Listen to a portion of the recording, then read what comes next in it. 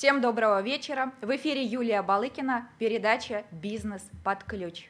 И в гостях у меня сегодня, друзья, Дмитрий Мирошников, финансовый консультант, специалист по инвестициям. Дмитрий, здравствуй. Добрый вечер, Юлия. Добрый вечер, подписчики канала Юлии Балыкиной. Mediametrics и Питер и Юлии Балыкиной. А, Дима, рада тебя видеть сегодня. Я вижу, что питерская дождливая погода, тем не менее прекрасная, она тебя сегодня совершенно не смутила, и ты таки добрался до нас. Благодарю за то, что пригласила меня на этот вечер. Ну а то, что погода такая, я всегда чувствую то, что погода всегда радует нас и приносит определенные нотки Спасибо. Я знаю, что у тебя очень ценные знания и, в частности, практический опыт, потому что я все-таки люблю практиков и хотела бы, чтобы ты сегодня поделился и с моими клиентами, и с людьми, которые будут смотреть э, радио Mediametrics Питер, и вообще со всеми, кто будет смотреть данную программу.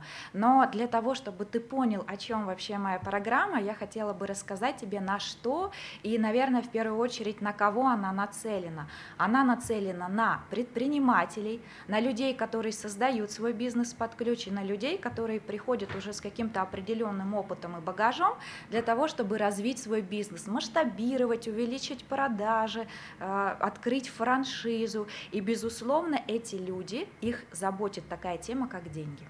Совершенно верно. Да. Деньги, они всегда заботят людей, потому что мы живем ради этого, ради того, чтобы на деньги купить те или иные продукты или услуги. Ну и в конце концов мы все любим путешествовать, а без денег мы этого не сделать не сможем.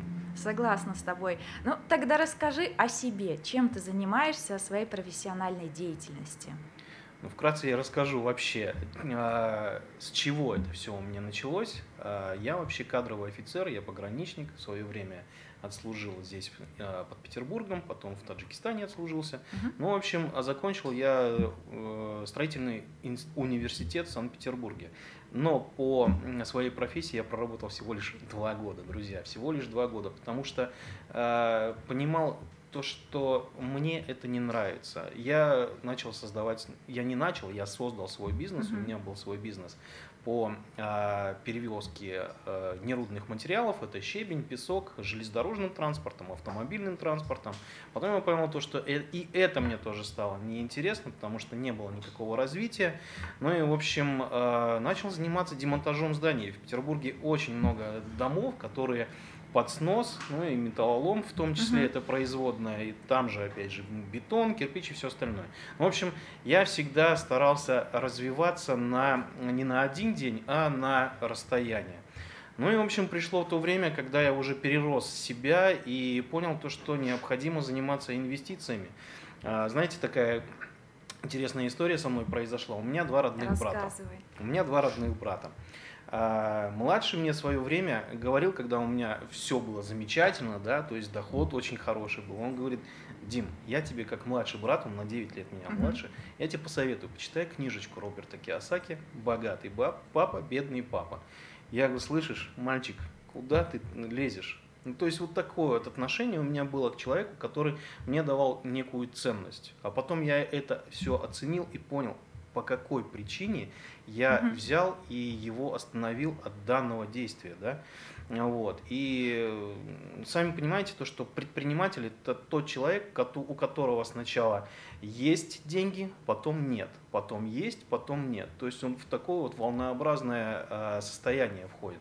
Но самое важное то, что человек в любом случае, предприниматель, он находится на дне, когда переходит на другой уровень. И это классно. Да, каждый раз, да. когда ты переходишь на новый, более высокий уровень, ты э, отталкиваешься от дна, да, и взлетаешь. Совершенно и получаешь верно. новую зону роста. Я так поняла, что тебе вот это состояние дна, оно не совсем понравилось, когда ты бизнесом занимался. Не очень понравилось, поэтому я понял то, что необходимо инвестировать денежные uh-huh. средства, которые зарабатываешь. Не все, естественно, а, потому что не нужно жить в угоду сейчас э, тому, то, что есть. Необходимо 10-20% от э, того, то, что заработал, uh-huh. вложить вот, а потом уже, естественно, жить на, скажем, на те дивиденды. деньги, те деньги, которые приносят тебе деньги, а не то, что ты постоянно находишься в, в рабском труде, я считаю. То так. есть постоянно зарабатываешь, зарабатываешь, зарабатываешь себе на жизнь. Совершенно да? верно. А, Да. я так поняла, что ты придерживаешься такой стратегии умеренной, да, золотая середина.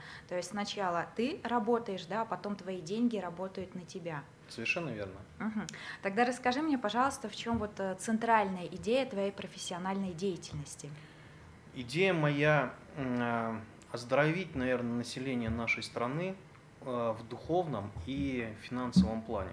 Потому что наши соотечественники, наши люди, они финансово как раз-таки безграмотны вообще. То есть, э, знаете, есть такой момент, когда у человека нет денежных средств, и он живет не по средствам, и все равно он идет в, банк просить кредит. Мгм. То есть у него и так плохо, и он еще и идет в банк просить кредит, который э, загоняет его все глубже и глубже. И человек становится вот как раз-таки э, м, критиком, наверное, всего то, что происходит вне его. Мгм. Ну вот именно в такую долговую яму, из которой ему потом все сложнее и сложнее выбраться. И вот здесь вот очень на самом деле ценен твой опыт, и я хотела бы, чтобы ты донес до целевой аудитории, а каким же образом важно именно инвестировать. И я как руководитель да, своей компании, маркетингового агентства MS Consulting, а, клиенты, которые приходят к нам создавать бизнес, вот каким образом мы с ними работаем. В первую очередь мы бизнес создаем, потом мы его продвигаем и развиваем, то есть э, выводим на определенный уровень продаж. И дальше, когда клиент понимает, что бизнес работает, бизнес приносит деньги, соответственно, клиенты проходят обучение, и после этого они принимают решение. Либо же они будут управлять этим бизнесом самостоятельно, либо же они передадут нам его на аутсорсинг. И вот тут наступает самое главное, когда бизнес, который мы им создали, начинает генерировать деньги, и прибыль динамично растет, эти люди уходят и инвестируют в другие фирмы. И казалось бы, вот мы в течение нескольких лет, э, месяцев вырастили предпринимателей, у которых бизнес заработал, и мне как руководителю хочется предложить им самое лучшее, да, а, потому что мы уже выступаем в качестве надежного партнера, и хотелось бы передать и их, да, вот таким вот людям надежным, как ты, которые в этой теме уже сведущие, да, вот какие программы ты бы им порекомендовал, да, вот что, вот что ты можешь а, порекомендовать именно в плане выгодных инвестиций? Ну, друзья, коллеги, я могу сказать о том, то, что вообще существует два критерия эм, кредитов. Это правильные кредиты и неправильные кредиты. Вот неправильные кредиты, я как раз выше сказал о них, да, это те, которые вводят людей, вводят предприятия в долговую яму. А есть правильные кредиты, это те, которые э, вы берете, и, соответственно, те инструменты, которые вы вкладываете, как раз кредитные деньги, Мгм. позволяют вам генерировать больший поток денежных средств. Мгм. И, соответственно, гасить тот кредит, который вы взяли в банке. То есть я вот таким вот сейчас инструментом пользуюсь, помогаю своим э, приятелям и э, раньше кто у меня был конкурент да, в бизнесе, я им тоже рассказываю об этом. То есть мне, здесь у меня э, сложилась определенная миссия, то есть помощь э, людям, как я и сказал, оздоровление нашей нации. Хорошая миссия, мне она очень Благодарю. нравится. И она очень сильно сопричастна и соприкасается вот с тем, что мы делаем у нас в компании. А вот какие основные все-таки, Дмитрий, мотивы, а, с которыми приходят к тебе твоя целевая аудитория, твои клиенты? И познакомь нас немного поближе с этими людьми. Кто они? Ну, в основном это предприниматели. Э, В основном это предприниматели, которые э, находятся в таком плачевном состоянии. Э, Ну, вы, наверное, знаете боли предпринимателей. Да, мы о них сегодня Вот, поговорим. да. Если, мо- если можно, я тогда вперед забегу и уже Да, на основании конечно. этого всего э, расскажу, кто мои. У меня э, есть некие записи, но, друзья, э, кстати, совсем недавно прошел э, Synergy Global, да, который приезжал э, Терминатор, да, или Арнольд Шварценеггер. Ну и, в общем, один из спикеров задал вопрос. э, Здесь, говорит, большое количество предпринимателей, назовите самые такие вот щепетильные моменты или боли предпринимателей. Мгм. И одной из сильнейших болей это, был, это было налоговое. То есть э, не понаслышке люди понимают и знают то, что налоговая с каждым годом все давит, давит, давит на бизнес. Хотя малый бизнес и средний бизнес она вроде как поддерживает, но но сам предприниматель эту поддержку он не видит, мало он ощущает. не видит, да, он не ощущает, он ее ощущает наоборот как давление некое, да. То есть это налог, э, усиление налогового контроля. Угу. Потом второй момент – это спад спроса, то есть люди угу. реально обнищали. То есть у людей покупательская способность в связи с тем, то, что, э, скажем, налоги, э, один вид деятельности, другой вид uh-huh. деятельности, люди просто-напросто ну, не имеют денежных средств. То есть покупательская способность, я еще раз да, повторюсь, она упала. То, что продукты стоили год, два, пять назад одной, одна цена, сейчас это стоит другая цена, и поэтому они не могут себе позволить купить те или иные услуги, которые им необходимы сейчас. Да? Вот. А нестабильная банковская система. То есть все прекрасно знают о том, что существует сейчас 115 закон федеральный, да? Да. Вот. И, естественно, ну я не буду дальше продолжать, кому интересно, просто-напросто посмотрите YouTube-канал определенных людей, которые как раз таки освещают все эти темы. Вот. Самый важный момент – это ротация персонала. То есть представьте себе, когда вы обучили одного человека, затратили на него определенные ресурсы, время, деньги, потому что так или иначе необходимо предпринять человека, да, который работает у вас, его, ему необходимо дать те знания, на основе которых вы строите бизнес. И он в конце концов потом э, уходит или его переманивает другой человек, да, то есть да. другой предприниматель. Это боль есть, предпринимателя. Да, это еще один момент. Дальше, ну, естественно, если у вас налоговая, э, грубо говоря, пригласила на дружественную беседу, она может в любой момент просто-напросто закрыть ваш бизнес на неопределенное время. Возникает дебиторка-кредиторка, правильно? Все верно. Да. Ну, из всех вот этих вот пунктов э, вырастает такое, э, не очень-то приятное, когда человек уже боится, предприниматель боится создавать что-то новое. То есть он начинает критиковать э, свой бизнес, он критиковать начинает э, конкурентов, ну и вообще, в принципе, в среду.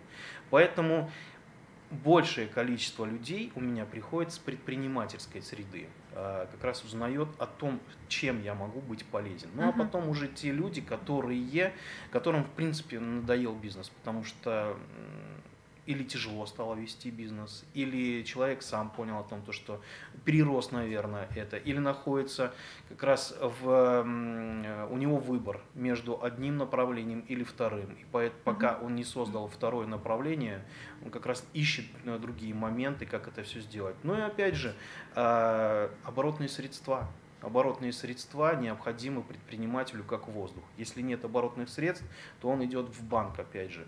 У меня есть определенный инструмент, который, которым я могу помочь оборотными средствами. Но это, я думаю, чуть попозже. Интересно, интересно. Да, ты меня заинтриговал, и я даже на самом деле думаю, что не только меня ты заинтриговал.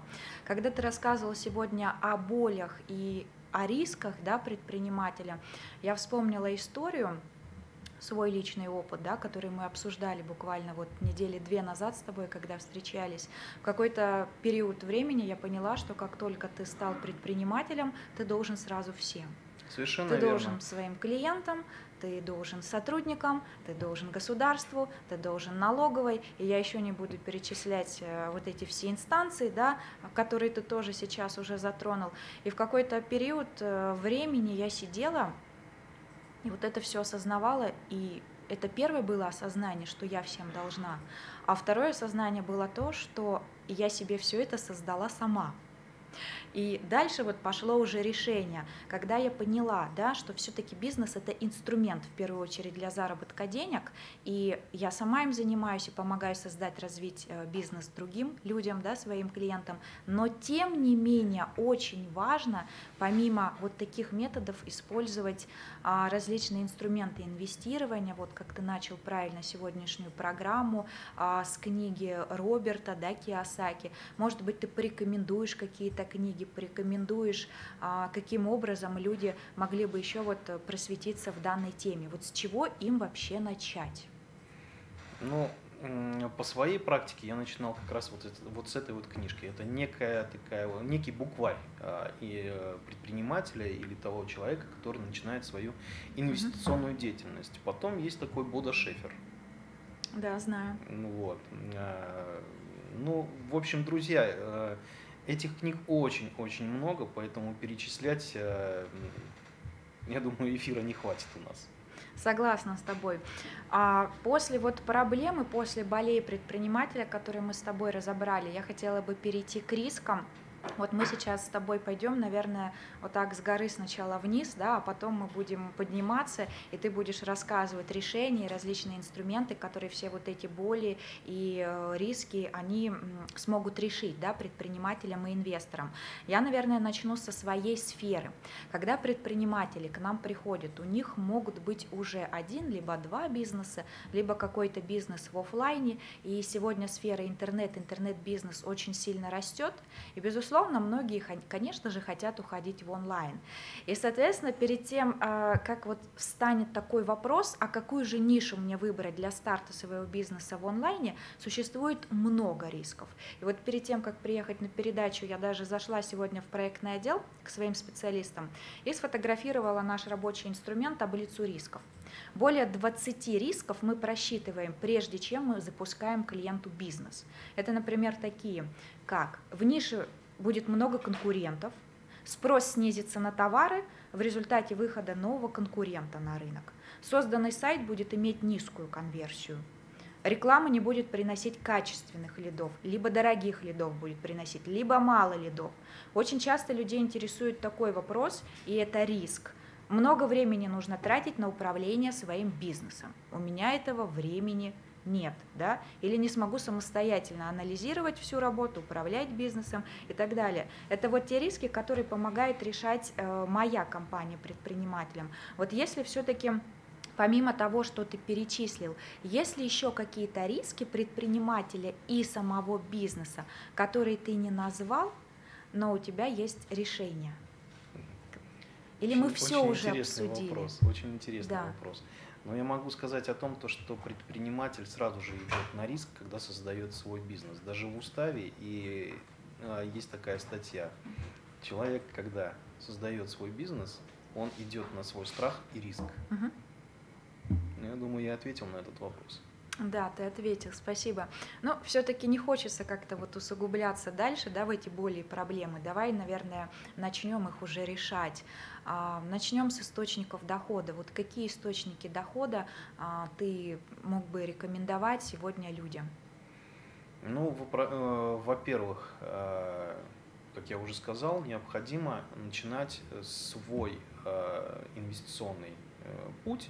Это с откладывания денег хоть пусть это будет гражданин угу. или человек, хоть это будет пусть бизнес, а, все равно необходимо откладывать 10-20%. На остальное все можно жить uh или развивать свой бизнес. А у нас как это все делается? Да? Я не буду человека брать, я возьму бизнес, да? uh потому что у нас бизнесовая такая тема предпринимательская. Да? То есть э, человек, когда только-только открыл свой бизнес, правильно сказала Юля, да, э, человек сразу подвержен со всех сторон влиянию, влиянию да, извне. Вот. Э, ему необходимо набрать штат сотрудников, ему необходимо на машинные механизмы, если это серьезный бизнес такой, да, и, соответственно, человек даже еще не заработал денежных средств, с него сразу же просит денежный, э, просит заработную плату или, опять же, каких-либо средств денежных, так угу. и есть. Вот. А, я ушел от темы. Источники дохода. То есть в начале 10% ты сказал, что рекомендуешь да. инвестировать, но вот все-таки, когда человек с помощью такой системы достаточно умеренной по 10% вложил, он э, скопил, отложил, назови вот как это правильно, да, будет определенную сумму. Что все-таки дальше? Ну, вообще не необходимо, да, я, я, я, вообще необходимо просто иметь инструмент накопления средств, mm-hmm. потому что мы никогда не накапливали. Хотя наши бабушки и дедушки накапливали, но э, развал Советского Союза произошел, и э, сделали определенную после этого нам э, или нашим, опять же, родителям инъекцию от инвестиций, да, Поэтому люди боятся вкладывать деньги в инвестиционные инструменты. Но слава богу, то, что сейчас уже молодое поколение подрастает, и оно понимает, то, что все равно необходимы инструменты накопления средств. Пусть это будет на 5 лет, пусть это будет на 10 лет. Но mm-hmm. в основном люди думают, опять же, сегодняшним днем. Mm-hmm. Как бы купить себе новый iPhone, вот, а что на э, две недели планирования, на mm-hmm. месяц планирования, они никогда не думают. Та же самая ситуация происходит и с бизнесом. С бизнес это намного-намного ответственное дело, нежели чем человек сам по себе принимает ответственность за свою семью, потому что в бизнесе здесь несколько Э, большое количество людей, за которых необходимо взять mm-hmm. ответственность. Вот, поэтому э, инструменты для инвестирования, у меня сейчас два инструмента для инвестирования. Это как раз-таки накопительная программа, э, где я от вложенных своих средств накапливаю тот или иной капитал, который я хочу. Естественно, есть точка отправная А, есть точка Б, где mm-hmm. я хочу получить какой-то, э, какую-то цифру. Ну, естественно, есть время, за какое mm-hmm. я хочу это все сделать. Время можно уменьшать за счет, опять же, до внесения денежных средств на mm-hmm. свой расчетный счет. Mm-hmm. Вот. И опять же, это все э, в долларах и в евро. Вот, потому что рубль рубль. Это не та денежная единица, по которой ну, можно жить свободным человеком. Поэтому у меня инвестиции исключительно в долларах и в евро. Инвестиции, значит, в долларах и в евро. Да. Но вот а, когда мы с тобой говорили об источниках да, дохода, а, вот во что вкладывать? Конечно, я хотела бы узнать, во что ты вкладываешь сам на данный момент, да, вот рассказала о своих источниках дохода, об инвестициях, в каких пропорциях, потому что есть такая вот пословица, да, в инвестиционке, что все яйца в одну корзину мы не кладем. И точно так же с инвестиционными, да, инструментами. Вот, например, мне часто задают вопрос, Юля, а ты инвестируешь или нет? Юля, а куда ты вкладываешь деньги? А куда вкладывать деньги? И достаточно длительное время для меня было всего лишь два инструмента и источника, куда я вкладывала деньги, а в себя, в свой опыт, да, в получение знаний, в образование и так далее. А, б это в бизнес, потому что, ну, если не вкладывать, а, как говорится, в дерево, да, на суку которого ты сидишь, да, то, соответственно, рано или поздно результата не будет. И я вкладываю в бизнес для того, чтобы его развить на максимум и оттуда получить инвестиции, куда я, соответственно, которые я вложу уже в те программы, которые вот ты предлагаешь, да, мы сейчас их рассматриваем, либо, может быть, в недвижимость. Но вот недвижимость, например, я рассматриваю, для меня это не совсем инвестиции, понимаешь, а, стоит дорого, окупается долго. Не ликвидно. Не ликвидно, а хочется жить уже сейчас, да, ну если вот какие-то ближайшие там 5, 10, 15 лет. Вот в каких пропорциях ты бы рекомендовал, может быть, между тем, что я назвала, еще у тебя есть, либо же ты предлагаешь вот те два инструмента, которые ты назвал в долларах и в евро, все финансовые средства вкладывать туда. Я понял вопрос. Э, постараюсь на него ответить. В общем, э, правильно ты назвала, то, что человек, который э, стремится к определенным целям и стремится все выше и выше находиться в окружающей среде, ему необходимо деньги вкладывать в знания. Обязательно. Потому что это некая подпитка вот, от, опять же, окружения, и это подпитка от тех инструментов, которыми делятся окружающие. Mm-hmm. Вот. А что касается инвестиционных инструментов, которыми я владею, то есть я сейчас, у меня есть сейчас а, депозитный инвестиционный счет не mm-hmm. в нашей стране, потому что, а, опять же, сейчас пока я ехал на радио, я послушал такую информацию, то, что Центробанк запустил такую интересную вещь. А, будет принимать валюту в евро и в долларах угу. в нашей стране, в банках, но с минимальным доходом, то есть с минусом. Нормально, да? То есть опять минус для населения. Минус да? будет, да, для населения. Мало того, то, что человек подвержен инфляции, предприниматель, да, так еще и деньги кладешь на свой счет с минусовым балансом. Очень интересно. Поэтому у меня как раз инструмент, который дает 2% в месяц в валюте. Друзья, это мало. Это мало. Кто скажет, то, что это много, я готов просто-напросто поговорить с вами, поспорить, может быть, или еще что-то. Но это мало. В основном есть и большие, конечно, проценты, но я не рекомендую для тех людей, которые находятся сейчас на стадии только-только начала инвестирования, я не готов вам говорить о том, что есть какие-то другие инструменты. Я, им, я ими пользуюсь, но это уже в последующем. То есть э, я считаю необходимо развиваться степ-бай-степ, шаг за шагом. Вот. Плачевные, у, меня, у меня также были и плачевные опыты. То есть свое Расскажи, время, кстати, да, интересно. А, то есть свое время, а, когда биткоин, опять же, да, криптовалюта. Ну, криптовалюта это такой инструмент, который будет. То есть так же, как и интернет. Но самое главное то, что, в общем, расскажу о, о своем опыте плачевном. У меня был свой дом загородный.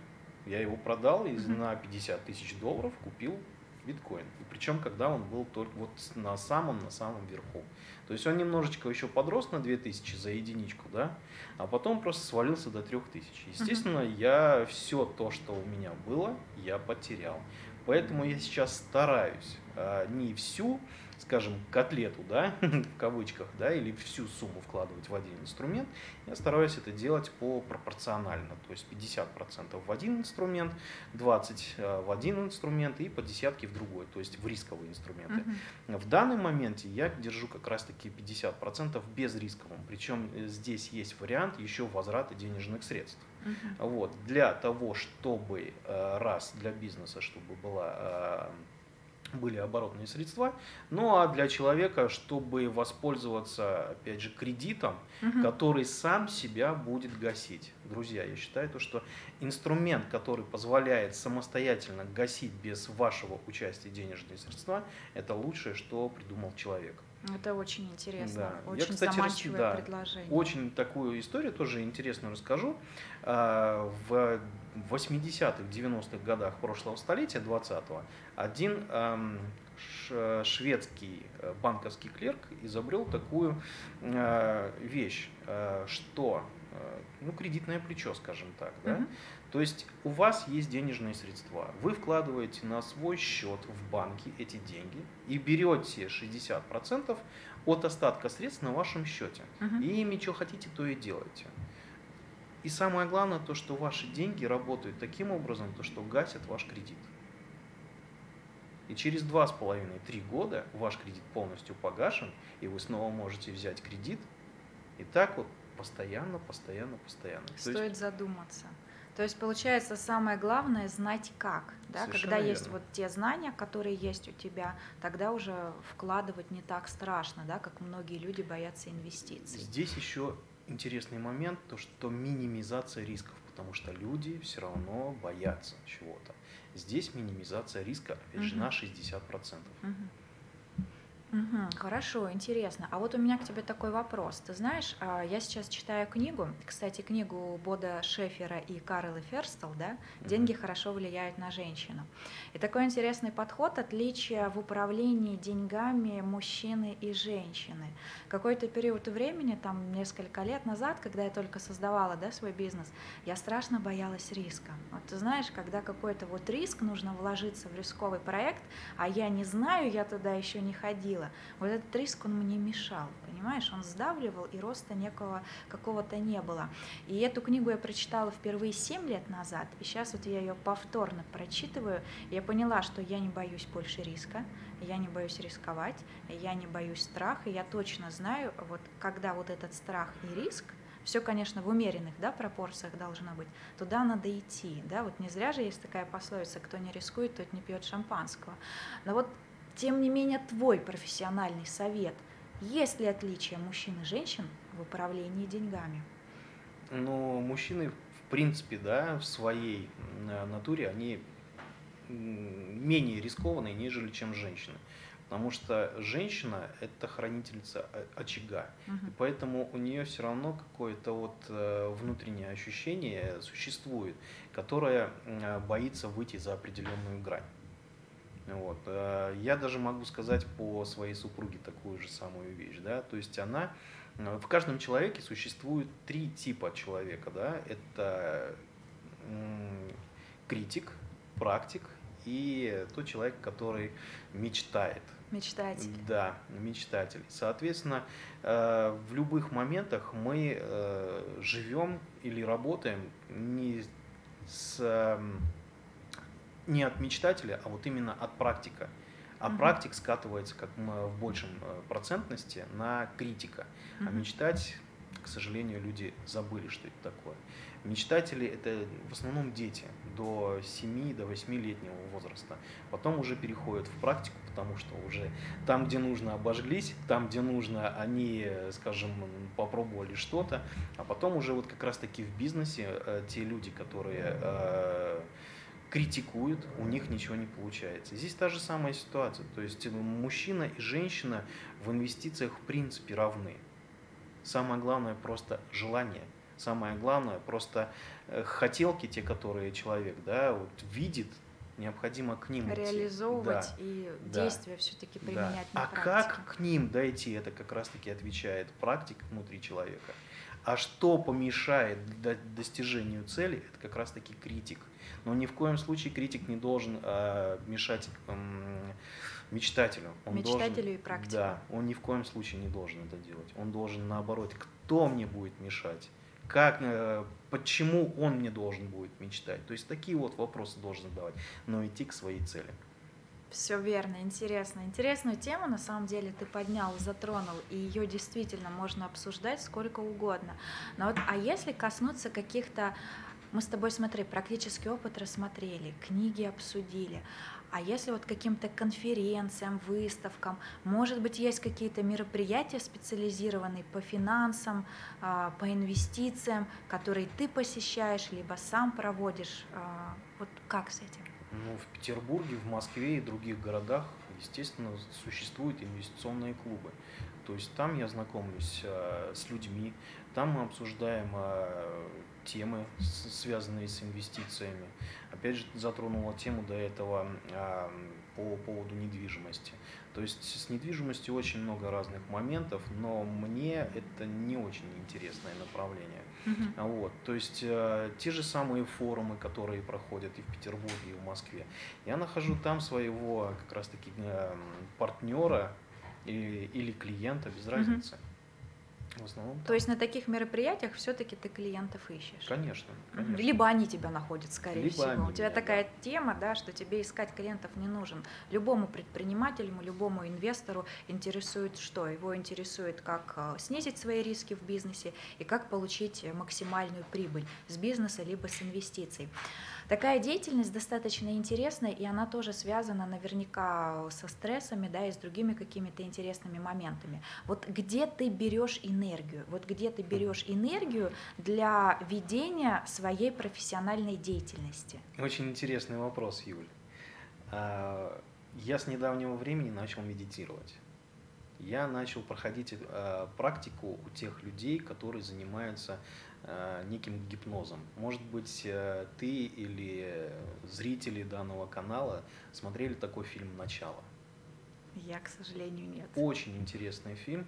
То есть э, мы, как человек, засыпаем в одном сне, переходим в, в другого в себя, где-то в глубине души, да, и начинаем осмысливать, что мы могли бы сделать так, чтобы было лучше для самого себя, да, то есть некие такие вот пазлы э, складываем, вот. Потом еще глубже куда-то в себя входим. То есть и здесь как раз-таки человек понимает его э, значимость в этом мире. То есть, ну, mm-hmm. я со стороны положительных эмоций смотрю как раз. Вот недавно, буквально три дня назад, я проходил эту практику очередной раз. Э, и у меня состояние души, состояние покоя было ну, на очень высоком уровне. То есть э, я как бы находился в неком сне, но я улыбался, и даже был момент, когда я даже в голос начал смеяться, хотя было определенное количество людей в зале.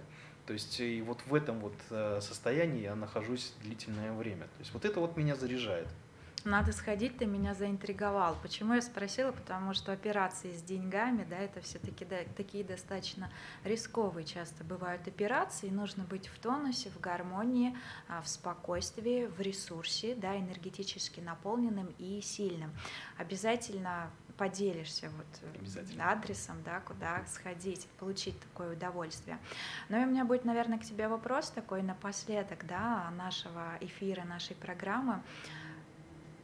Что бы ты такого сказал, вот твое напутственное слово, пожелание предпринимателям, людям, которые хотят выйти из крысиных бегов, да, как это написано у Роберта Киосаки, из вот этой вот постоянной гонки заработка денег. Потому что вот одна история, с одной стороны, это анекдот, да, расскажу сейчас, а с другой стороны, это практика, это жизнь.